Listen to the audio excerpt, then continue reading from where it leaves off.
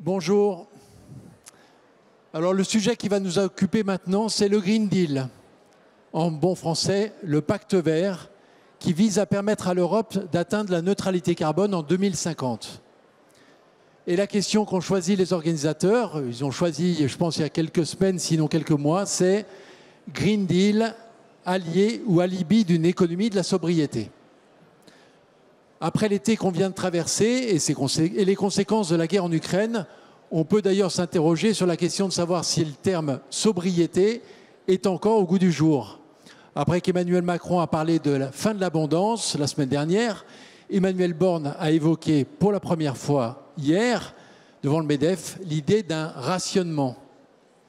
Je propose donc qu'on reformule la question de la façon suivante. Green Deal allié ou la Libye d'une économie de rationnement.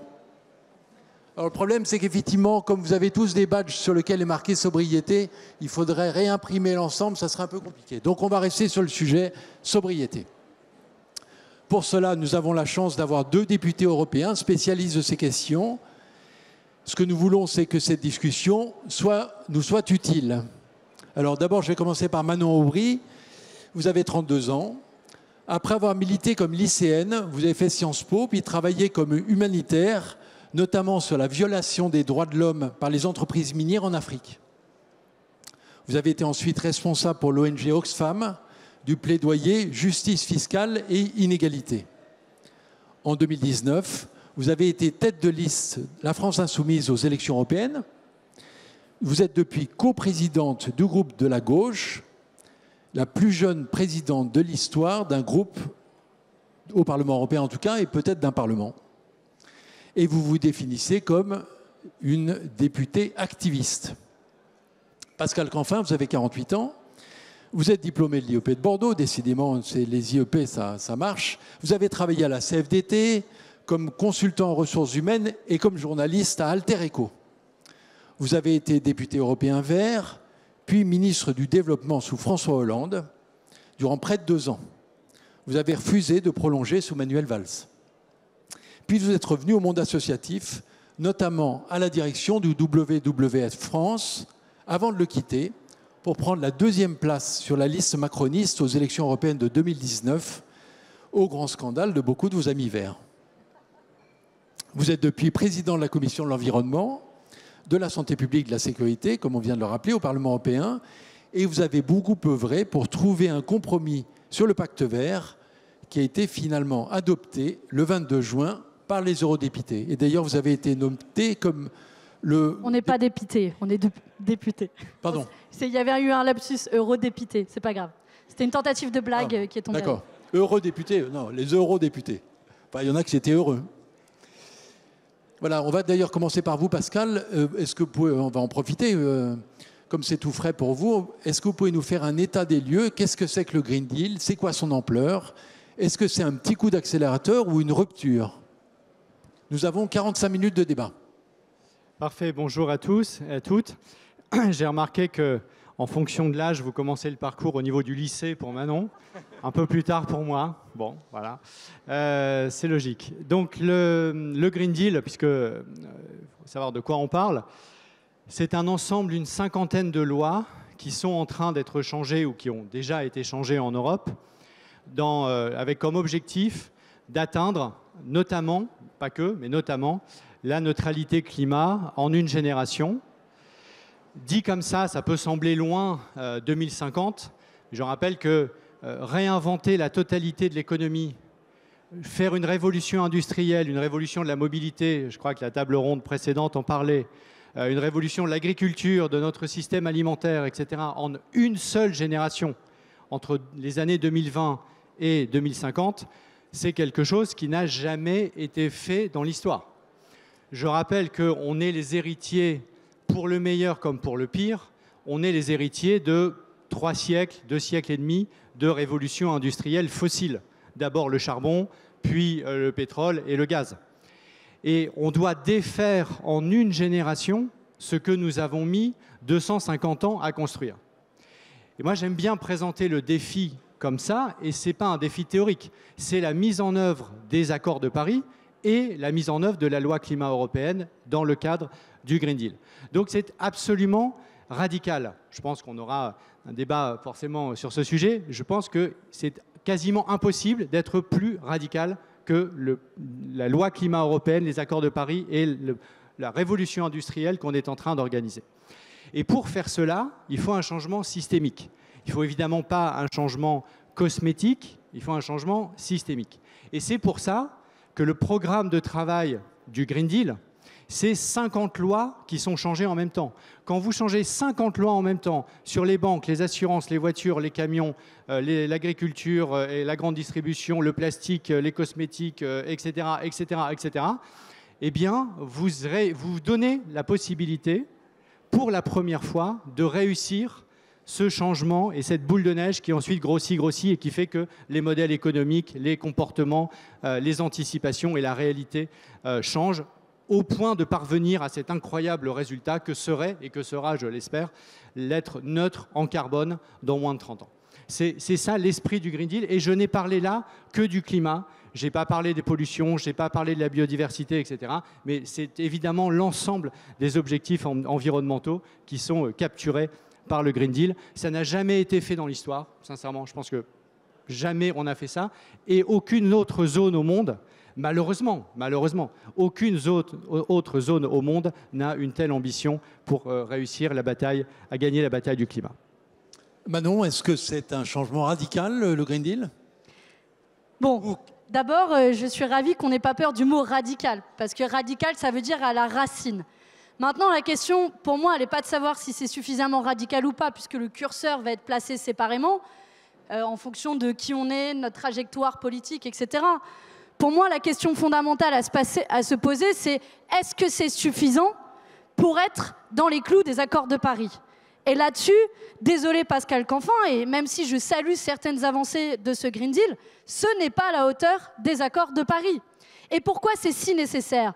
Parce qu'en réalité, les émissions de gaz à effet de serre des États européens sur les dernières années n'ont baissé que de 0,4%, là où elles doivent baisser de 2,9% pour être dans le clou des accords de Paris. Alors qu'est-ce qu'a fait l'Union européenne? C'est en effet se doter d'un plan, le Green Deal, dont l'objectif, commençons par cela, rien que l'objectif, c'est un objectif de réduction des émissions de gaz à effet de serre de 55% d'ici 2030. Est-ce que vous savez ici dans la salle combien il faudrait pour respecter les accords de Paris? Est-ce que quelqu'un le sait? 65. 65%. Donc vous voyez que l'objectif qui est fixé n'est déjà pas à la hauteur des accords de Paris. Ensuite, et ce serait un peu long et je ne vais pas le faire ici, on pourrait euh, toucher euh, euh, les mesures les unes à côté des autres. Il y en a qui sont intéressantes, bien entendu, mais là où je suis en désaccord, c'est qu'elle ne, se pose pas véritablement la question d'un changement en profondeur de notre système. Pourquoi? Parce que, par exemple, on interdit les voitures thermiques d'ici 2035 sans se poser la question de l'organisation de nos territoires. Parce que, par exemple, on poursuit un modèle du marché carbone dont il a été démontré qu'il est non seulement inefficace, mais vous avez peut-être vu la dernière histoire en, date avec euh, l'entreprise Valjet, qui est, euh, j'aurais pu en parler avec Clément Bonne, le ministre des Transports, la première entreprise euh, qui, euh, de jet privé en France qui n'a pas été soumise, qui s'est soustrait aux obligations du marché carbone et qui n'a pas payé un seul euro dans le cadre du marché carbone, alors qu'ils ont pollué l'équivalent de 1430 fois l'empreinte carbone au niveau européen. Je vous prends l'exemple de quelques mesures. Et ensuite, pour moi, il y a une question de cohérence fondamentale. J'ai une autre question à vous poser qui est assez intéressante. Qui a dit qu'il faut déléguer notre alimentation, euh, notre production, notre capacité à soigner, notre cadre de vie, au fond, à d'autres, est une folie? Qui l'a dit? C'est Emmanuel Macron. Emmanuel Macron qui reconnaît que finalement, euh, déléguer notre capacité industrielle en dehors de l'Union européenne est une folie. Cette même Union européenne qui continue à signer à tour de bras des accords de libre-échange, et j'en veux pour preuve le dernier avec la Nouvelle-Zélande, qui est quand même la Nouvelle-Zélande, quand on est français, on ne fait pas plus loin, hein. on ne fait pas plus loin à l'autre bout du monde.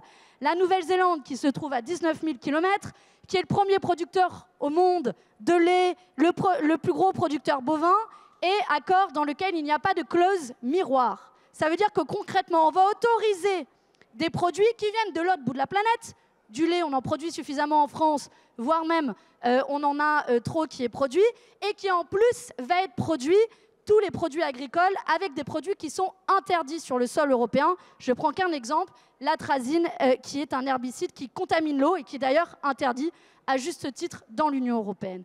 Donc oui, un Green Deal, mais je vais ajouter une sous-question.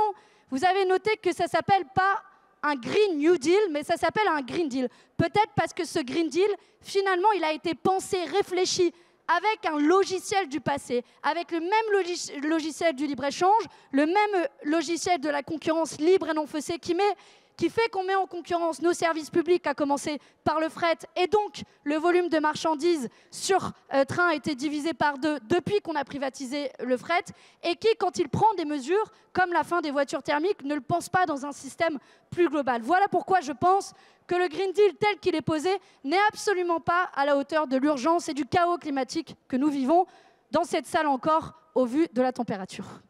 Pascal, est-ce que les 65, 55, 65 ah mais Moi, j'étais prêt, c'est même moi personnellement qui ai réussi à faire voter au Parlement européen 60% Donc je suis tout à fait euh, évidemment en soutien au fait d'aller plus loin. Euh, simplement, aujourd'hui, l'Europe est démocratique. Et la démocratie européenne a trouvé comme point d'atterrissage majoritaire 55% 55 c'est, on ne va pas faire un débat d'experts, ce n'est pas le sujet, c'est la fourchette basse, je suis d'accord avec Manon, c'est la fourchette basse de ce qu'il faut faire pour respecter les accords de Paris. C'est une question de quelle est la probabilité que nous avons de. Bon, à 65%, vous avez absolument la, la certitude d'y arriver. À 60%, c'est plus certain. À 55%, vous commencez à entrer dans la zone où c'est possible. Si on, avait, si on s'était mis d'accord sur 60 à la fin, ça m'allait très très bien puisque c'est moi qui l'ai initié. Simplement, ça n'a pas été possible. Pourquoi? Pourquoi? Parce que ça ne sert à rien d'avoir un débat euh, théorique. On est vraiment euh, au cœur de ce qui lie le politique et l'entreprise. Et je pense que le débat euh, d'aujourd'hui, vous, en tant que, mouvement d'entrepreneurs et d'entreprise, vous, vous interrogez aussi sur la théorie du changement. Je pense que c'est ça le cœur du sujet, plutôt que d'aligner des chiffres les uns après les autres. Qu'est-ce qui fait qu'on va réussir? Parce que si, vous voulez, si on réussit les transformations qui mènent à 55, on pourra réussir les 60 et les 65. Parce qu'une fois que vous avez basculé un système, il ne s'arrête pas parce que la loi dit 55. C'est pour ça que parfois, on n'atteint pas du tout les objectifs qu'on s'est fixés parce qu'on n'a pas fait basculer le système. Et parfois, on va beaucoup, beaucoup plus vite que les objectifs qui, qui ont été fixés dans la loi parce qu'on a fait basculer, on a fait des points d'inflexion. C'est ça qu'il faut aller chercher. Et, et, je pense que ma théorie du changement à moi, c'est celle qui, qui, marche depuis euh, euh, deux ans, puisque les exemples, les chiffres que tu donnes, Manon, sont des exemples du passé. Et donc, par définition, le Green Deal que nous sommes en train de faire n'ont pas changé les chiffres insuffisants du passé. Je, ça, c'est tout à fait logique. C'est pas le passé. non, non, mais et alors, les jets, c'est un très bon exemple. Je fais une incise. Typiquement, je suis d'accord avec ceux qui disent, vous en faites partie, et on l'a voté ensemble, tu m'as même critiqué pour avoir même voté la même chose que toi, il faudra que tu m'expliques, mais donc on l'a voté ensemble, euh, le fait que oui, bien évidemment, il faut que ça soit juste. Et c'est dans la théorie du changement. Si ça n'est pas juste, si ça n'est pas perçu comme juste, si le top de la pyramide, comme on dit, euh, ne joue pas le jeu et n'a pas un certain nombre de contraintes supplémentaires qu'aujourd'hui, alors c'est impossible d'embarquer le reste de la société. Moi, je l'ai dit récemment, il ne peut pas y avoir de séparatisme climatique. Il ne peut pas y avoir de passagers clandestins. Et donc, oui, la question des jets est totalement euh, euh, euh, symbolique en termes d'émissions de, CO2. Hein, ça représente 0,0 quelque chose. Mais c'est inacceptable que ça ne soit pas couvert quand la vieille Clio diesel, elle, est couverte par l'augmentation du prix du carbone. C'est inacceptable. Et donc oui, il faut en permanence mener ce combat. Et l'amendement sur les jets, euh, sur le fait de mettre les jets dans le ETS, moi j'ai voté pour, tu as voté pour, on l'a perdu. Euh, c'est comme ça. Donc, on est euh, sur le cœur du sujet, c'est la théorie du changement. C'est qu'est-ce qui fait qu'on va réussir à faire ces points d'inflexion et donc à gagner la bataille. Et moi, je vois trois éléments, et je termine là-dessus. Le premier élément, c'est les règles du jeu. Si on n'a pas les bonnes règles du jeu, bah, forcément, vous, entrepreneurs, qui voulez investir dans des solutions euh, décarbonées ou dans d'autres modes de type de consommation, etc., bah, vous êtes coincé par des règles du jeu qui pénalisent les comportements vertueux. Et donc, vous dites, bah oui, mais j'ai pas de part de marché, donc j'y vais pas, la règle du jeu n'est pas la bonne. Donc, nous, notre responsabilité de politique, à l'échelle européenne, évidemment nationale, c'est de changer les règles du jeu. Mais il faut le faire en dialogue permanent avec les entreprises. Parce que changer une règle du jeu, si ça ne correspond à rien dans la réalité technologique, dans la réalité de marché, dans la réalité des investissements, bah vous faites un beau changement de papier. On l'a vu par exemple sur les pesticides. Hein. Sur les pesticides, il y a une règle du jeu depuis des années et ça ne marche pas. Pourquoi? En l'occurrence, la règle du jeu qui change, ça change les réalités de marché. Et, exactement. Et ça, c'est un, un cercle vertueux qui, qui s'auto-nourrit. Et c'est pour ça que moi, je travaille énormément avec les entreprises progressistes parce que c'est dans le dialogue avec les entreprises progressistes qu'on peut changer les règles du jeu et gagner l'argumentaire de ceux qui trouvent que c'est jamais possible, c'est toujours trop cher, c'est toujours vrai pour les autres, etc. Et le troisième pôle, le troisième pôle, c'est les comportements, les attentes, l'imaginaire des citoyens et des consommateurs. Parce que si vous changez les règles du jeu, que l'entreprise a la technologie et qu'elle investit, mais que personne suit, bah, à la fin, vous avez euh, tout perdu en tant qu'entrepreneur, je pense que vous êtes en permanence confronté à cette tension et à ce dilemme. Et c'est ce triangle-là qu'il faut toujours avoir en tête. Et c'est là où je peux avoir une différence avec Manon, c'est que si on ne prend pas ce triangle-là, on peut, euh, sur le papier, euh, mettre plus radical que moi, tu meurs et avoir tous les chiffres dans tous les sens. Et à un moment donné, vous faites péter le truc. Et on l'a vu avec les Gilets jaunes. On l'a vu avec les Gilets jaunes. Une fois que ça a pété, une fois que ça a pété, je peux vous dire que pour remettre l'élastique dans le bon sens, c'est très très très difficile. Et donc il faut faire attention, il faut aller au maximum de l'ambition et de la radicalité. Il ne faut pas avoir peur de ces mots, évidemment, évidemment. Et il faut le faire de manière juste, évidemment. Mais il faut aussi tenir compte des tensions qui sont dans la société, qui sont dans chacun des acteurs, pour faire, pour transformer en profondeur, sans fracturer la société. Je pense que c'est ça le cœur de ce qui fera qu'on réussira cette bataille extraordinaire en une génération, encore une fois, d'inventer un modèle zéro carbone. Manon, est-ce qu'un dialogue avec les entreprises progressistes, comme le dit Pascal, ça suffit C'est nécessaire? Est-ce que comment vous ça?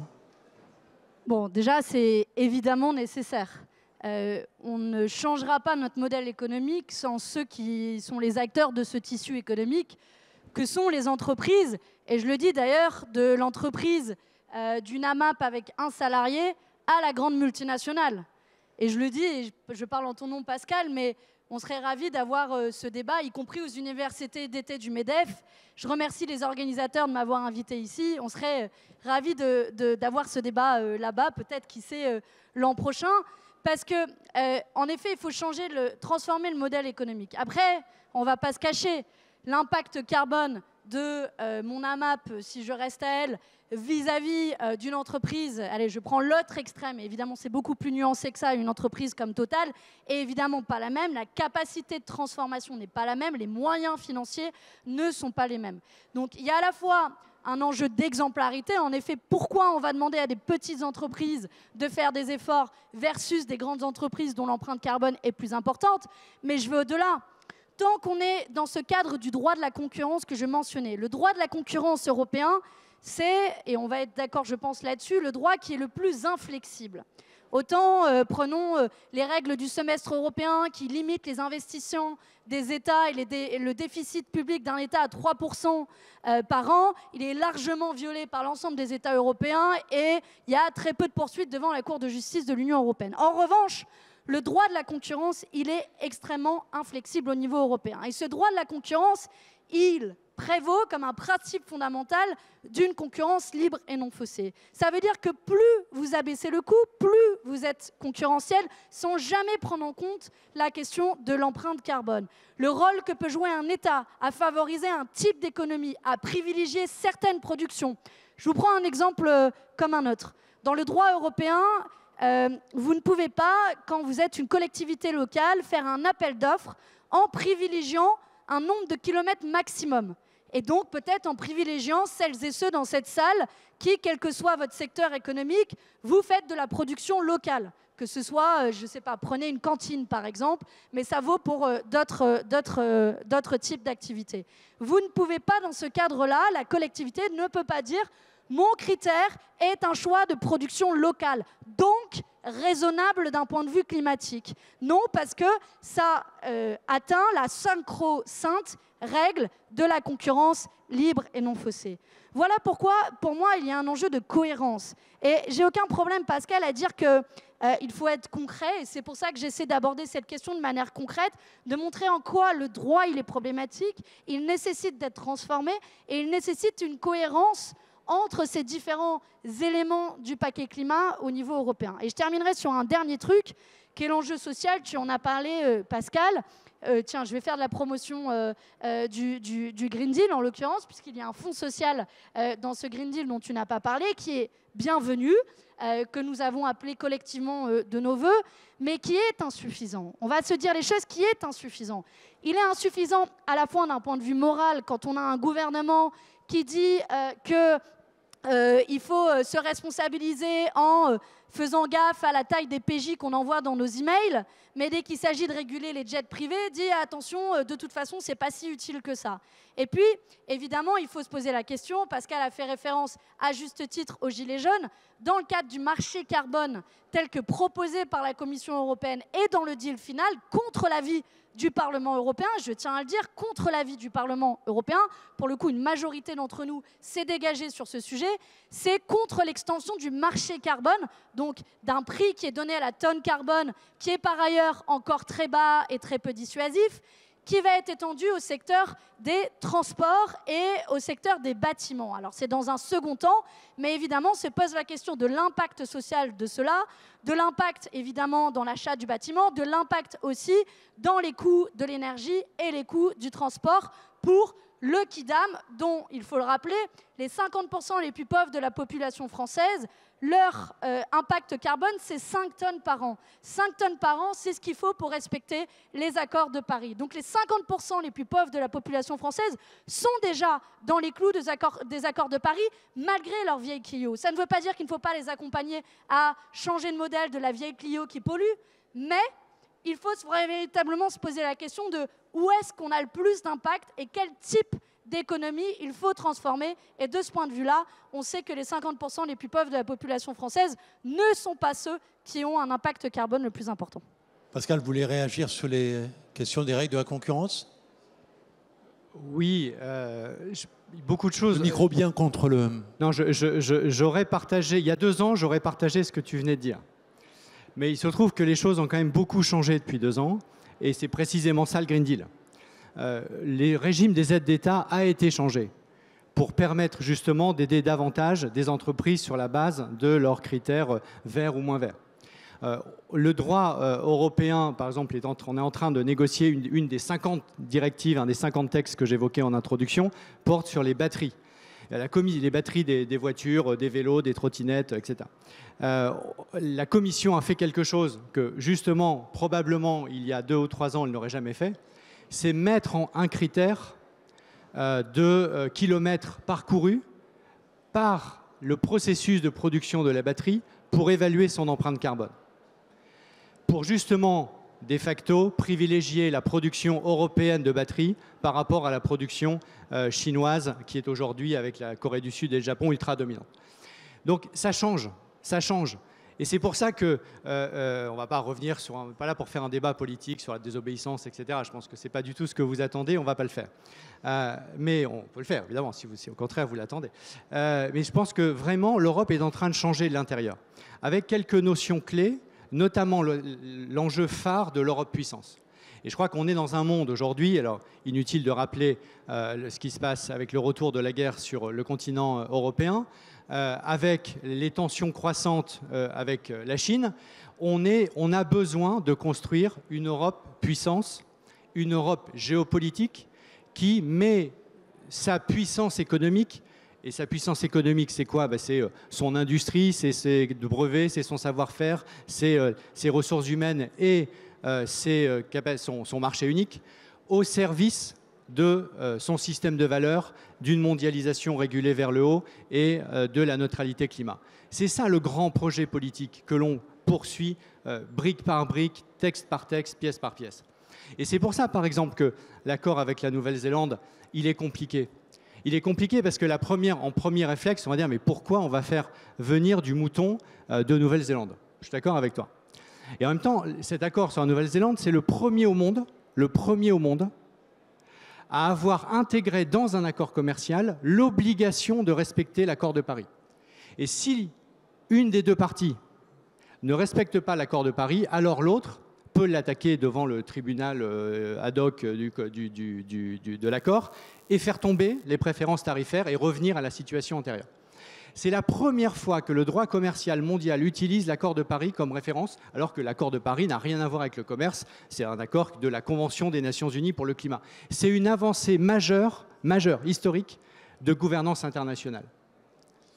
Et donc, en même temps, ça va contribuer à faire venir du mouton de Nouvelle-Zélande de l'autre bout du monde. Et en même temps, il y a l'intrazine. C'est intéressant parce que faut, faut, regarder la complexité des choses. Il y a l'intrazine, c'est vrai. L'intrazine, elle n'est pas autorisée chez nous. D'ailleurs, ça prouve que l'Europe n'est pas si mauvaise que ça, puisque on, interdit ce genre de produit. Quand la Nouvelle-Zélande, c'est un produit qui fait quoi?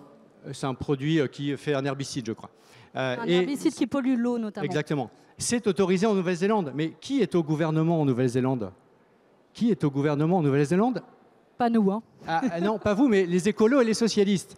Donc moi j'ai envie de leur dire, mais si vous voulez vous battre pour l'interdiction de l'intrazine en Nouvelle-Zélande, juste passer un coup de fil aux copains verts et aux copains socialistes dans la NUP et demandez-leur d'interdire le truc. Et ce sera réglé. Et on aura du coup bien joué sur l'intrazine en Nouvelle-Zélande, très bien, mais on aura gagné ce progrès extraordinaire de rendre obligatoirement contraignant le respect de l'accord de Paris dans un accord commercial. Et une fois qu'on l'a gagné avec la Nouvelle-Zélande, évidemment, l'objectif, c'est de le gagner avec les autres. Et c'est d'ailleurs pour ça, comme c'est évidemment impossible de le gagner avec le Mercosur, même si Lula a été élu, on peut en discuter, mais en tout cas avec Bolsonaro, euh, on oublie, ça va de soi, que nous avons mis notre veto et on a mené cette bataille ensemble, on a mis notre veto au fait de signer, le ratifier l'accord Mercosur. Donc on voit bien que les choses évoluent en profondeur, y compris pour tirer la mondialisation vers le haut, parce que l'Europe, ce n'est pas une île. L'Europe, elle a besoin d'alliés, la Nouvelle-Zélande en fait partie, mais elle a besoin de tirer tout le monde dans le chemin vers la neutralité climat. Qu'est-ce qu'on dit euh, Manon, c'est pas si bien. Enfin, il n'a pas des vertus, ce traité avec la Nouvelle-Zélande? Bon, moi j'ai une question fondamentale. Quand on a commencé à avoir ce débat sur les accords de, libre-échange, ce qui est intéressant d'ailleurs, euh, c'est qu'il y a eu une relative euh, suspension des négociations des accords de libre-échange au cœur même du Covid, justement parce qu'il y avait une réflexion intéressante sur notre capacité à produire dans l'Union européenne.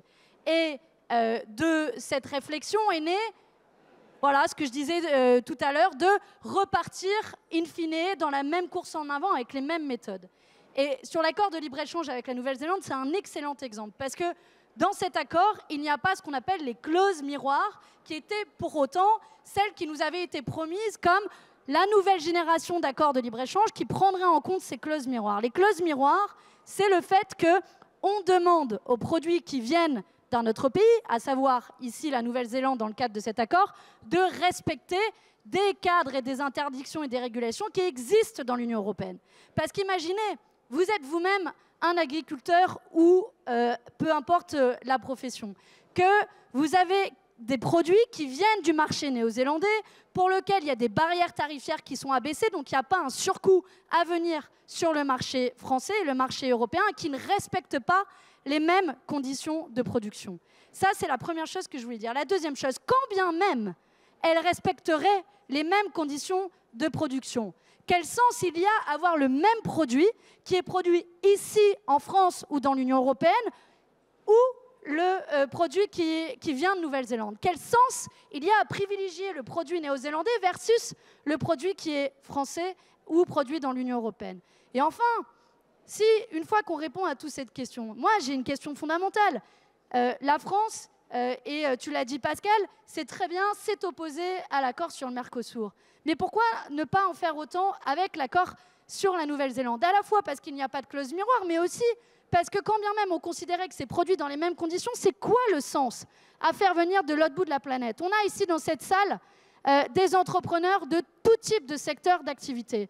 Je pense qu'on a les ressources, les compétences qui nous permettent de produire ce dont nous avons besoin. Évidemment qu'on ne va pas arrêter de commercer avec le monde entier, qu'il faut le faire selon des conditions, mais pas pour remplacer la production ici sur le sol français. Donc il y a une question qui est posée. Est-ce qu'à la fin, la République en marche et le groupe Renew va voter cet accord, ainsi que tous ceux qui vont suivre, puisqu'il y a un certain nombre d'accords qui sont en cours de négociation au niveau européen, parce que, comme je vous le disais, le rythme s'est accéléré. Et moi, je pense que, et je reprends les mots du président de la République, et c'est pas souvent que je cite le président euh, euh, de la République, que je partage euh, largement, qui disait lui-même qu'il fallait se poser cette question, et que déléguer notre alimentation, notre protection, etc., notre cadre de vie, au fond, à d'autres est d'une folie. Eh bien, moi, je pense aujourd'hui ici que déléguer ça à d'autres est une folie et je souhaite qu'une chose, que Emmanuel Macron le mette en pratique. Pascal, close miroir.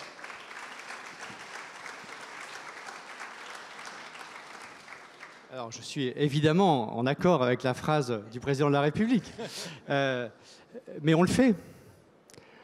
On le fait. Les clauses miroirs, première clause miroir, juin 2022, juin 2022, avant l'été, sur les néonicotinoïdes. Les premières de l'histoire, où effectivement, trois pays, Brésil, Canada, États-Unis, ce pas des petits joueurs, vont devoir arrêter de produire, euh, je crois que c'est du blé, du soja et du maïs, avec les néonicotinoïdes qui sont interdits chez nous.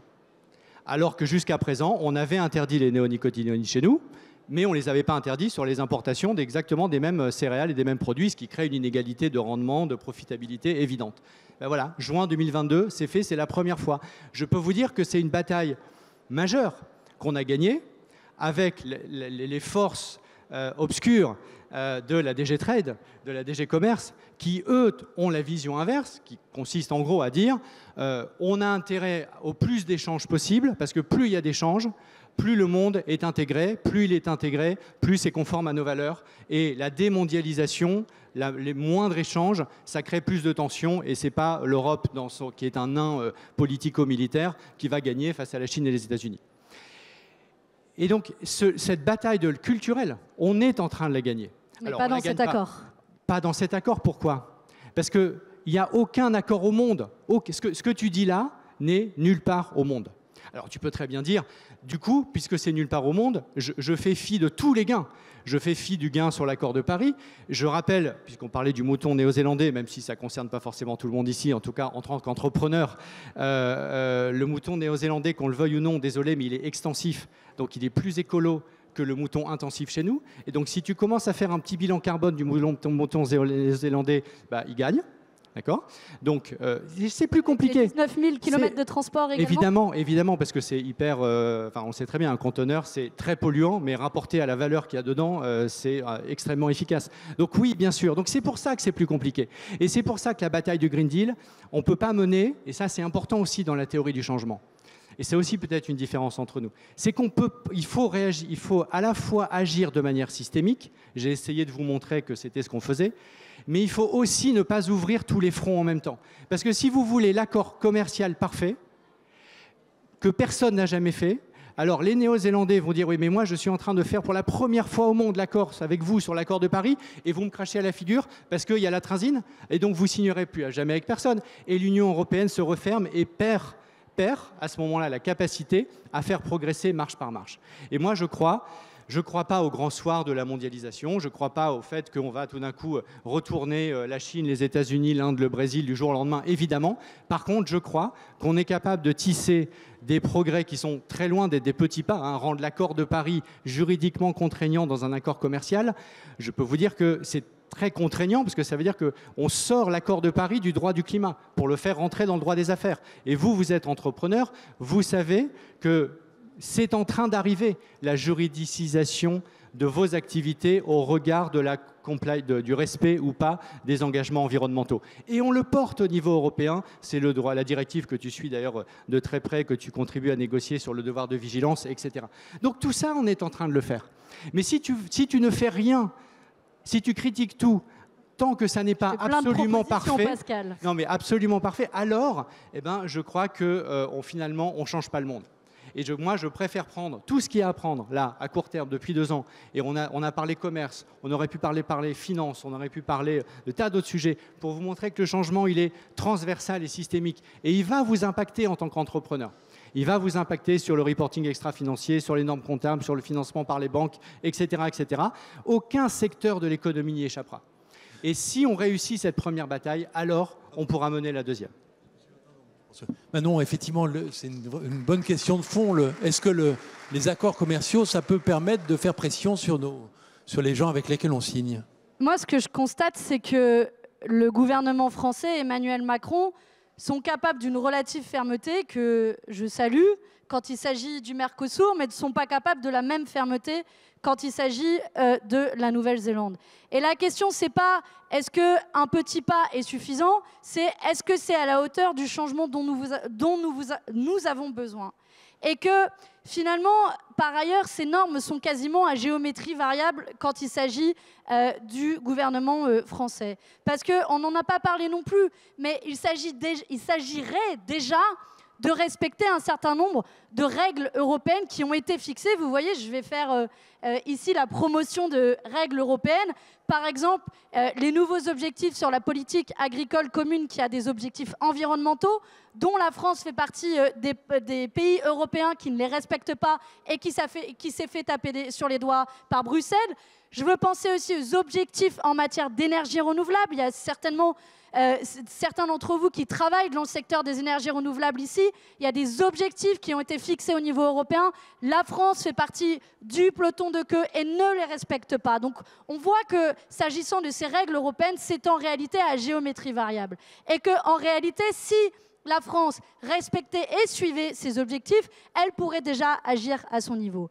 Ensuite, la vraie question qu'il faut qu'on se pose, et c'est un débat philosophique hyper intéressant et qu'on a déjà eu, Pascal et moi, parce qu'on a eu l'occasion, y compris, euh, de se croiser avant quand on était dans le secteur euh, associatif.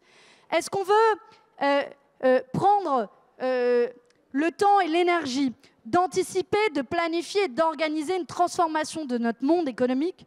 Ou est-ce qu'on veut, on veut le faire de manière brutale parce qu'on n'aura pas le choix? Moi, j'en suis convaincue, et le chaos climatique que nous avons vécu cet été, en fait la démonstration. Je fais partie d'une génération qui a grandi avec ce chaos climatique. Quand on voit à quel point on est au-delà même des schémas du GIEC, on voit à quel point le Pakistan est sous les eaux. On n'aura pas le choix de transformer notre modèle. Aujourd'hui, en 2022, la question qui nous est posée, c'est est-ce que on le fait de manière brutale, abrupte, sans l'avoir anticipé, comme finalement ça a été le cas avec le monde du charbon? Parce que le modèle du charbon, on en est sorti de manière euh, euh, brutal et rapide avec le coût social que l'on connaît. Ou est-ce qu'on le planifie, on l'organise. Et le planifier et l'organise, ça suppose dès maintenant de transformer notre modèle de société. Et oui, je le dis et je l'assume, ne pas signer des accords de libre-échange avec la Terre entière, qui fait qu'on va continuer à déverser des produits qui font trois fois le tour de la planète avant d'arriver sur notre sol et qui ne respectent pas les mêmes normes sociales et environnementales. Donc j'espère que ça va être un objectif que nous pourrons respecter. Et puisque tu l'as dit toi-même, la France a le pouvoir d'apposer son droit de veto à un accord de libre-échange. Voilà un des outils que nous devrions utiliser pour réorganiser notre économie à l'avenir. Un dernier mot, Pascal, mais malheureusement, on va, on va arrêter. Bon, clairement, euh, on ne mettra pas le veto sur l'accord Nouvelle-Zélande. D'ailleurs, les groupes socialistes au Parlement européen est le plus dithyrambique vis-à-vis de cet accord. Et les Grünen, pas le cas des socialistes les Grünen, ah, d'accord, les Grünen, les Verts allemands, sont dithyrambiques vis-à-vis de cet accord. Donc là, je peux dire qu'il y aura une très très large majorité pour le voter, de la même manière qu'il y a une très large majorité grâce au travail qu'on a fait pour s'opposer au Mercosur. Et c'est ça la, clairvoyance, justement, c'est de faire la différence entre des alliés et ceux qui ne le sont pas. Sur l'agriculture, très très bon exemple, très bon exemple. Tu fais référence à une réforme de la PAC qui exige, et ça date de, c'était au début de l'année, je crois, hein, oui, on a voté, qui exige des États membres que les plans agricoles, qu'on appelle dans le jargon technique les plans stratégiques nationaux, soient alignés, cohérents avec les objectifs environnementaux de l'Europe. Il se trouve que, modestement, je me, désolé de me faire un peu d'auto-promotion, mais c'est moi qui ai obtenu cette avancée. C'était le dernier truc de la dernière nuit. On l'a arraché. Résultat des courses, aujourd'hui, les plans stratégiques agricoles qui engagent le premier budget européen, plusieurs centaines de milliards d'euros, doivent être cohérents avec les objectifs de l'Europe euh, climatique et environnementaux de l'Europe, alors que jusqu'à présent, les deux étaient déconnectés. Très grande avancée. Je rappelle qu'on s'est fait pourrir, que tu as voté contre ce texte. Tu as voté contre ce texte. pourquoi la politique agricole commune favorise encore un modèle agro-industriel. Bien sûr que rien n'est parfait, évidemment. Mais ce que je veux dire, Manon, c'est que tu t'appuies, c'est ça la théorie du changement, qui est la mienne et qui n'est pas la tienne, et aucun problème. C'est que le, ce gain-là, qui a été arraché. Et je peux vous dire que, sans trahir de secret, ça n'a pas été une partie de plaisir toujours avec le ministre de, de l'Agriculture de l'époque. On l'a gagné.